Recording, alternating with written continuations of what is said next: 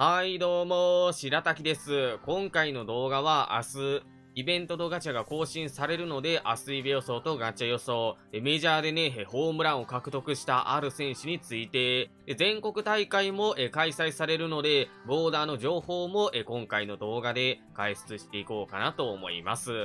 まあ、今後もね、こういったえプロスピースの情報に関して、まあ、どんどんね、投稿していくので、まあ、ぜひともね、チャンネル登録と通知、まあ、そしてね、明日の更新が楽しみだという方は、高評価の方もよろしくお願いします。ではね、早速、え本編の方やっていきましょう。明日10月の13日にイベントとガチャが更新されるので、まずはガチャ予想の方からやっていきましょう。2個の更新が来ると考えています。1つ目がポジション追加、2つ目がワールドスターシリーズ、まあ、それぞれね、説明していこうかなと。1つ目のポジション追加、これはガチャの種類で決まってきます。最近、え更新されていないガチャが、え戦力強化スカウトになるので、まあ、明日は、え戦力強化スカウト。で、この戦力強化スカウトとセットで来ることが多いのが、まあ、星枠になっているので、明日の、えガチャ更新は戦力強化プラス星枠が、え更新されてくるんじゃないのかなと予想しています。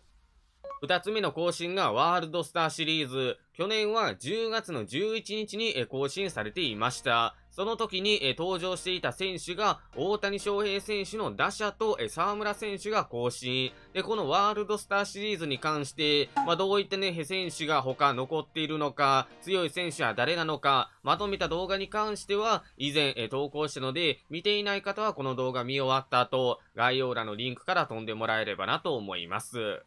ワールドスター第2弾はどういった選手が追加されてくるのか、13日に全国大会のセリーグ杯とパリーグ杯が開催されるので、セリーグとパリーグの選手が登場してくると思います。で、パリーグで予想した選手が大谷選手の打者。打者は毎回先にね、追加されてくるので、大谷さんの打者を予想。で、セリーグは調べたんですけれども、残るは前田選手しかいないので、前田選手と大谷さんの打者がセットで来るんじゃないのかなと予想しています。大谷翔平選手、打者について話していきたいんですけれども、無課金、美課金税はどうするべきなのか、能力は弾道アーティスト81、85、79、今年メジャーでね、日本人初のホームランを獲得したんですけれども、まあ、能力の修正はないと思います。まあ、以前にね、パワーが上がって、まあ、能力が修正されたので、まあ、再び修正されるっていうことはないかな。まあ、侍ジャパンでもね、登場して、メジャーバージョンの大谷翔平選手がこちら来ているので、まあ、ワールドスターは一応ね、日ハムバージョンの、ま、成績になっているので、まあ、修正はなく、81、85、この能力で来ると思います。で、特殊でね、ライト C にすることができる方が83。で、特殊能力、超高角打法、アーティスト界、走塁。この走塁がね、結構いいんですよ。普通の人であればヒットなんですけれども、この特殊能力が発動することによって、まあ、二塁打をね、量産してくれる。まあ、あとはね、ホームランも、まあ、大量に打つことができる、え強い選手にはなっています。で、無課金、美課金税はどうするべきなのか。まあ、最近始めた方、まあ、侍からね、始めた方で、大谷翔平選手を獲得していない、大谷翔平選手を使いたいのであれば、アニバーサリー選択契約書を捨てて、まあ、勝負するのもありなんじゃないのかなと思います。ワールドスターシリーズは2分の1、50%の確率で選手を当てることができるので、まあ、大谷さんを使いたいのであれば、兄は選択を捨てて、まあ、勝負するのもありなんじゃないのかなと。こういった方もそろそろ大谷翔平選手を狙ってワールドスターシリーズ引くのもありなんじゃないのかなと。大谷翔平選手の母体を持っていない3、4年ね、やっている長期プレイヤー。まあ、毎年ね、アニバーサリー選択契約書で、まあ、チームをね、強化していってもらってると思います。まあ、今年はね、気分転換に、まあ、ホームランをね、獲得した、まあ、大谷選手の打者を狙って、まあ、勝負するのもありかもしれません。まあ、大谷翔平選手の母体を確保すれば、まあ、プロスペースではね、神システム、スピリッツ解放という機能があります。大谷翔平選手の母体をね、一つ、まあ、確保していれば、永遠に使うことができるので、まあ、せも持っていないという方で、まあ、気分転換に、まあ、今年は、まあ、勝負して、まあ、打者大谷さんを狙うのもありなんじゃないのかなと思います。で、このスピリッツ解放に関しての動画もね、以前、まあ、開出した動画、まあ、投稿したので、見ていない方はこの動画見終わった後、まあ、そちらもね、見てもらえればなと思います。セリーグの選手予想が前田健太選手。前田選手の能力は80、80、83、オール A なので、リーグで最強な投手になっています。またはね、中継ぎでも起用することができる。で、リアルタイム対戦では通信持っているんですけれども、まあ、ガチオーダーで入れている方、またはランク戦とかね、全国大会で使っている方はほとんどいないので、まあ、あまり強い投手とは言えないんじゃないのかなと思います。まあ、リーグではね、強いので、まあ、リーグのガチオーダーをね、組んでいるという方は、前田選手狙っていってもらえればなと思います。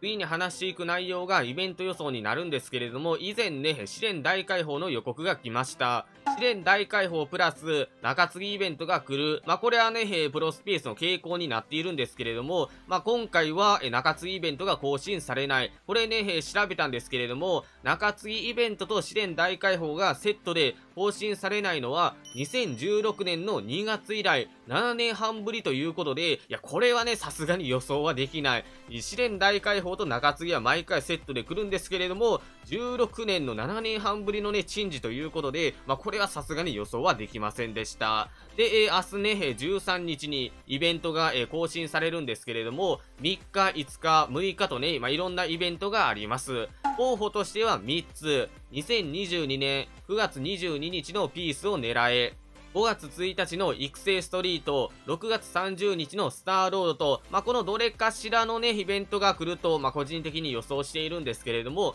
つい最近、1年ぶりにね、スカウティングナインが更新されました。この中に1年以上もね、更新されていないイベントがあるので、明日13日は最終更新が2022年9月22日のピースを狙いが、更新されてくるんじゃないのかなと予想しています。まあ、スカウティング9は選手を集めてイベントを進める。まあ、スターロードも、まあ、選手集めないんですけれども、まあ、なんかシナリオプレイ的なもの、育成ストリートもシーズンを通して、まあ、選手をね、育てていく。まあ、スカウティング9も、まあ、シーズンを通してね、選手を集めて、まあ、オーダーを強化する。まあ、同じようなね、感じの、まあ、内容にはなっているので、まあ、違うイベントとして、まあ、明日ね、1年ぶりに、まあ、ピースを狙いが、え更新されてくるんじゃないのかなと思います。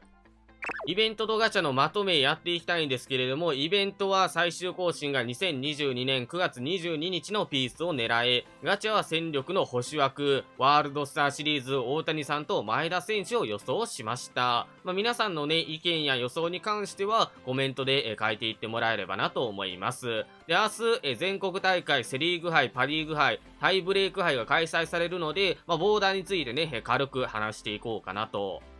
13日から全国大会が開催されるんですけれども、セリーグ杯、パリーグ杯、タイブレーク杯は2023年の4月に開催。その時のボーダーは大体どれぐらいだったのか。タイブレーク杯は試合数が多いので、リボンのボーダー、繊維は、まあ、大体レートは約8500前後でリボンを獲得することができました。で、リーグ杯、パリーグ杯は、まあ、選手をね、集めるのが難しい。まあ、一応条件にはなっているので、リボンのボーダーとしては、7700前後がリボンのボーダーになっていました。まあ、無課金、美課金税で、もしね、リボンを欲しいのであれば、まあ、獲得できる確率が高いのは、セリーグ杯、パリーグ杯になっているので、まあ、セリーグの選手、パリーグの選手を集めて、まあ、こちらの方、え参加していってもらえればなと思います。まあ、タイブレイク杯はね、誰でも参加できて、まあ、その、あとは試合数がが多いので、リボンのボーダーは必然的に上がるんですけれども、まあ、リボンをね、取りたいのであれば、セリーグ杯、パリーグ杯に参加していってもらえればなと。自分はセリーグ杯で参加していこうかなと、まあ、打者に関してはね、こういった感じで、まあ、投手はこちら見てください。大野選手、SP 解放3回しました。4100、アニバの時かな ?85、80、85。まあ、こちらのね、大野選手はツーシーム A を持っている。まあ、今はね、横ツーシームになっているんですけれども、まあ、この大野選手を使って、まあ、ちょっとね、リボン狙っていこうかなと。今回の動画は明日イベントのガチャが更新されるので明日イベ予想とガチャ予想、まあ、その他ね、ワールドスターシリーズ全国大会の、まあ、ボーダーの情報などについて話していきました。まあ、最後まで動画を見てくれた方々、えご視聴ありがとうございました。まあ、次回ね、5万人目指して投稿しているので、チャンネル登録と、まあ、ぜひともね、通知と、この動画にね、高評価の方もよろしくお願いします。ということで、ありがとうございました。